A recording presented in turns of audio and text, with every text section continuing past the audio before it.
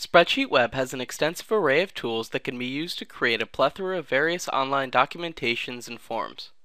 During the course of this video, I will lead you through the creation of a fully functional automobile insurance crash report.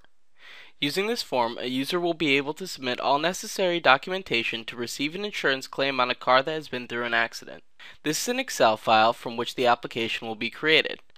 As you can see, it includes an extensive report of the car crash, asking for information regarding both parties involved in the accident, the policyholder of the insurance company, details of the accident, and even an optional submission of accident photos.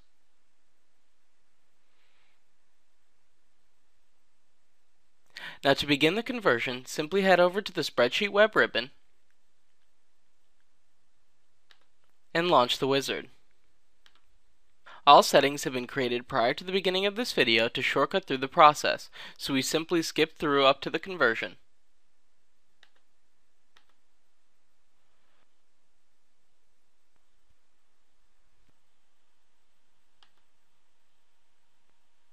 Once the conversion is done, we'll make sure to save the file. And then we can head over to the Spreadsheet Web Control Panel. From here, we press Add a Web Application, give our application a name,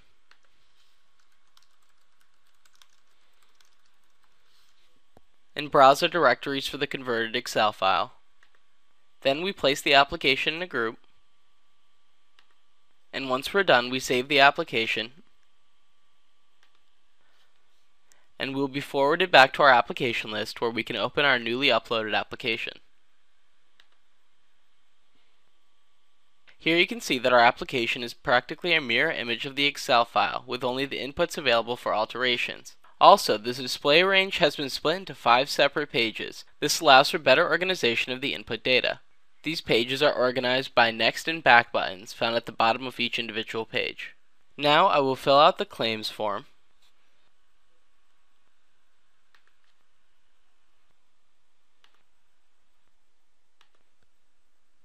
and I will use the attachment input to attach pictures of the car accident.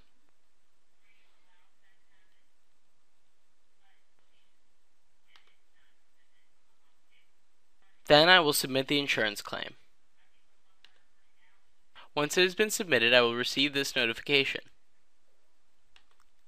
Now, we will fill out the application again with the new names so that we can have at least two records in the database.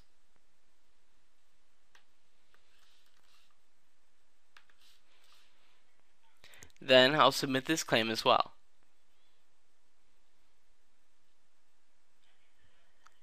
Now, we head back to the control panel, where we can open up the Data tab, and make sure that we have selected the insurance claim form from the combo box.